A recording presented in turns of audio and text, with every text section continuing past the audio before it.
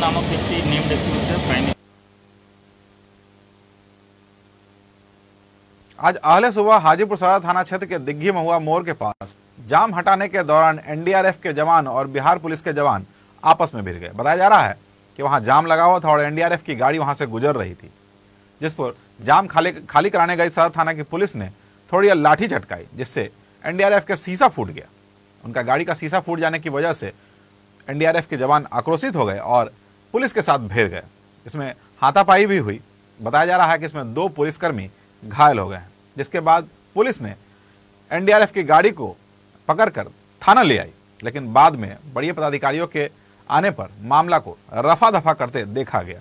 वहीं सदर थाना की दो पुलिसकर्मी इलाज के लिए हाजीपुर के सदर अस्पताल भेजी गई, जहाँ पर उन्हें आंशिक रूप से चोट लगी थी, जिनका इलाज किया गया। उन्होंने आरोप लगाया है कि एनडीआरएफ के लोगों ने उनके साथ जाति की है, वहीं एनडीआरएफ के जवानों ने आरोप लगाया है कि लाठी चटकाई जा रही थी और लाठी के दम पर पैसा वसूला जा रहा था। अब मामला क्या है, ये तो जाँच की बात है, लेकिन फ़िलहाल मामले को रफा दफ़ा करता देखा गया।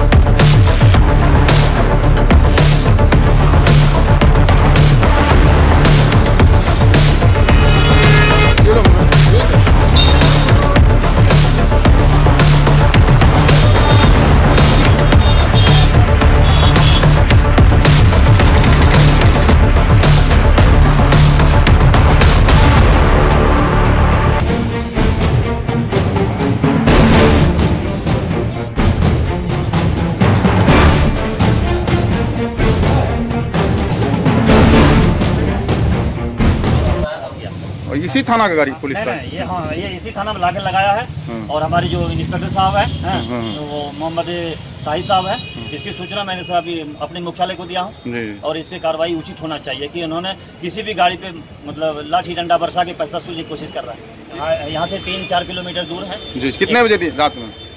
ये अभी सर जस्ट एक डेढ़ घंटा पहले और हमारे विशेष जो स्टेटमेंट लेना है आप हमारे इंस्पेक्टर शाहिद साहब है। वहाँ जाम छुड़ा रहे थे हम लोग। आरडीआरएफ की टीम थे हल्का लॉकिंग ग्लास लगा कांच टूट गया इसलिए हम लोग को मारना शुरू कर दिया। कहाँ घटना हुआ है? महुआ मोड़।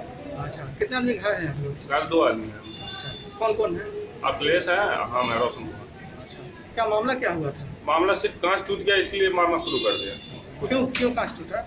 ऐसे ऐसे जाम लाठी से कर रहे थे ना इसी में कांच पे हल्का लग गया लॉकिंग गिलास पे कांच टूट